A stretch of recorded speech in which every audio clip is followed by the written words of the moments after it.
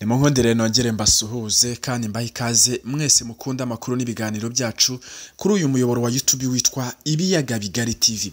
Ibiyaga Bigari TV tukugezaho amakuru ya politiki, diplomasi, intambara ndetse n'ajyanye n'ubutasi, tukibanda mu karere k'ibiyaga bigari. Ubu tuvugana turi mu masaha y'igitondo mu karere k'ibiyaga bigari, turi ku munsi wa gatatu w'icyumweru, itariki yo ni ya makumyabiri na kabiri z'ukwezi kwa gatanu, umwaka w'ibihumbi bibiri na makumyabiri na kane.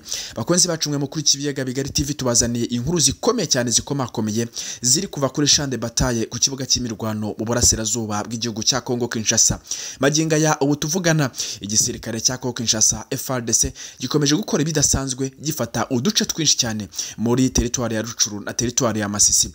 Gahunda ni ukugera ibonagana hafi n'umupaka utandukanya Uganda n'igihugu cya Congo Kinshasa ahantu M na gatatu ifite ibirindiro by'umwihariko naho abayobozi baba.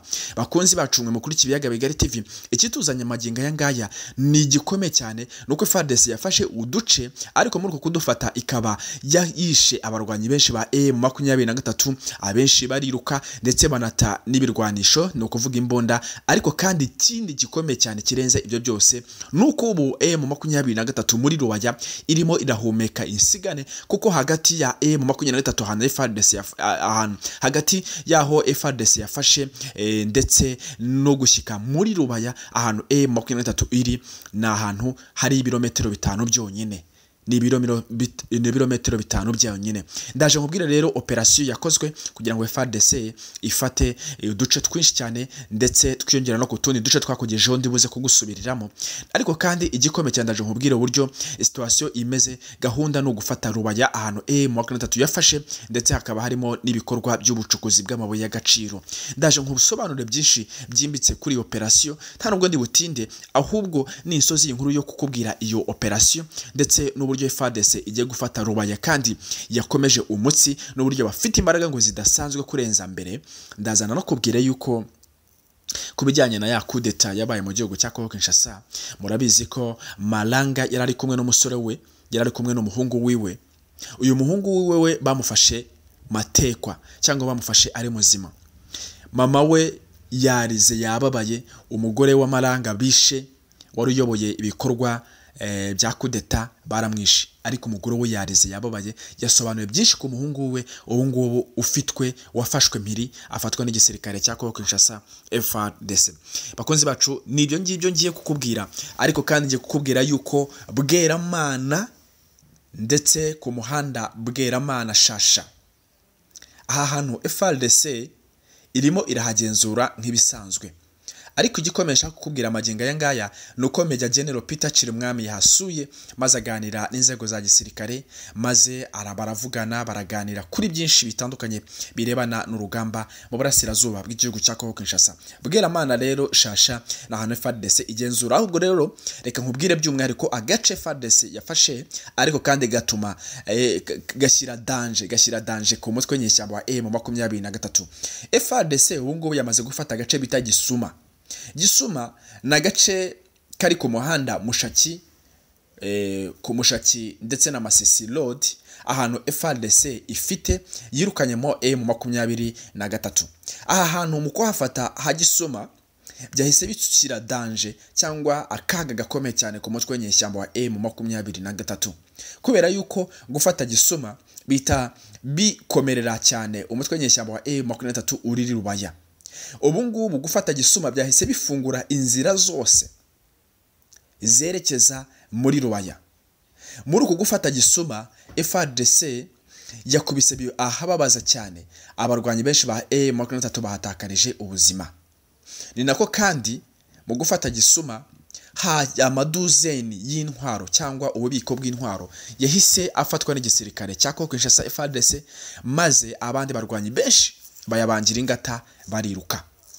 Magingo aya ngaya bakunzi bacu mwe mukurikiye ibiyaga bigari TV nuko gisuma ari agace gakomeye cyane kari muri mushaki muri teritwari ya masisi. By'umwihariko ku muhanda by'umwihariko iyo ufashe gisuma uba ureba bihambwe imbere yawe.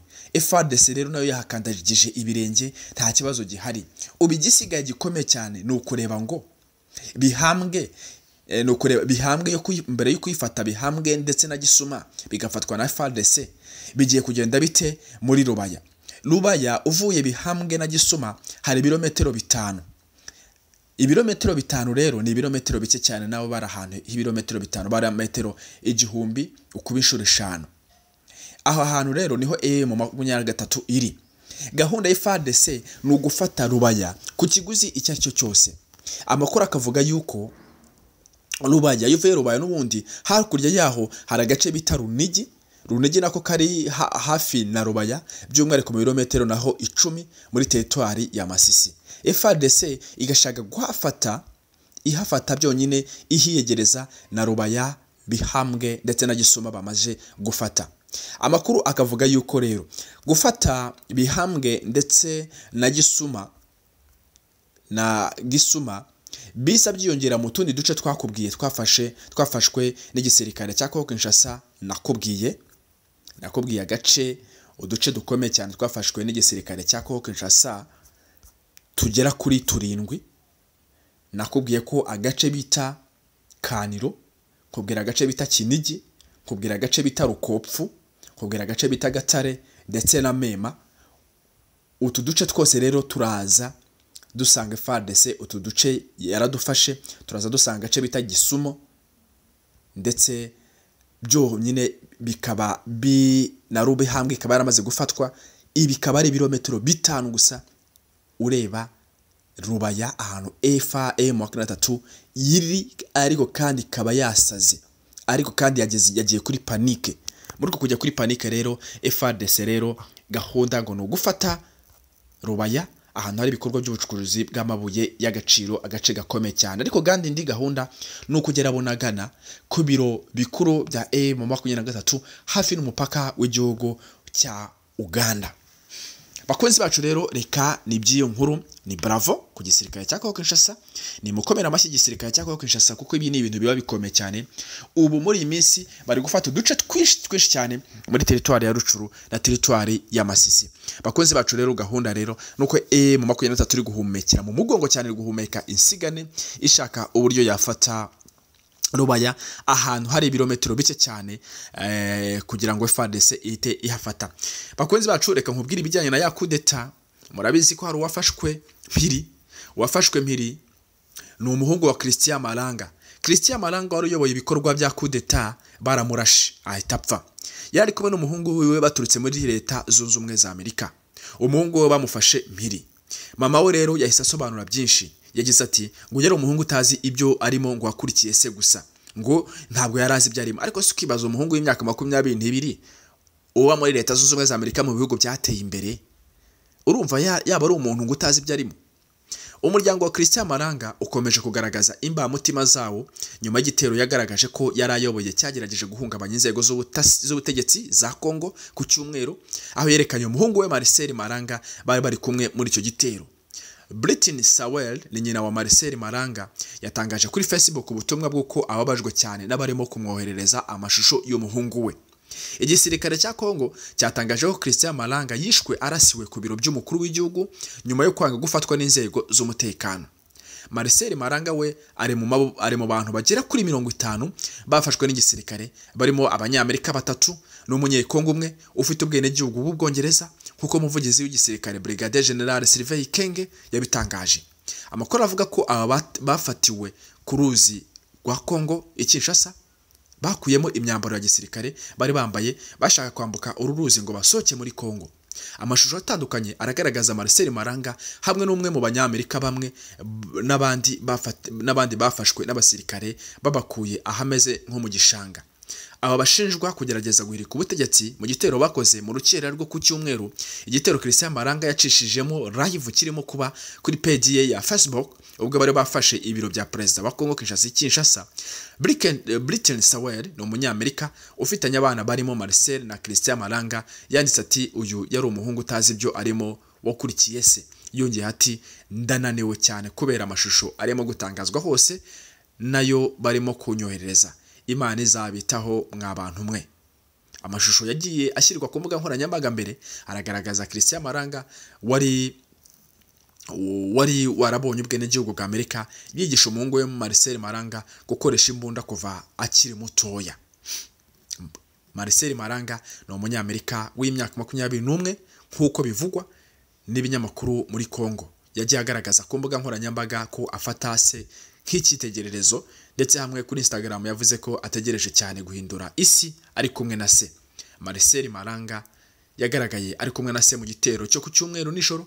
We na bagenzi be bafashwe ntibaragezwa imbere y'ubucamanza ngo bavuge ku byaha baregwa. Igisirikare cya Kongo Kinshasa kiravuga ko aba bantu bane mu bari bakoze iki gitero bishwe barashwe. Muri bo harimo Christian Maranga n'umwe mu biciwe mu mirwano ku rugo rwa Vital Kamere Tulsi Tamure ambasaderi wa Amerika i Kinshasa yatangaje ko yatunguwe n'amakuru ko hari abanyamerika baba baragize uruhare muri uko kugerageza guhirika ubutegetsi. Aho yanditse kuri X yahoze ati yahoze ari Twitter ati mwizere ko tuzafatanya n'iy'abategetsi ba Kongo ibishoboka byose muri iperereza ryabo kuri ibi byaha no kubiryozwa. Umunyamerika wese wabigizemo uruhare. Kugeza ubu ariko abanyekongo barakibaza ikibazo bitarabonerwa igisubizo kuri iryo tsinda rya Christian Maranga n'iryo bakoze.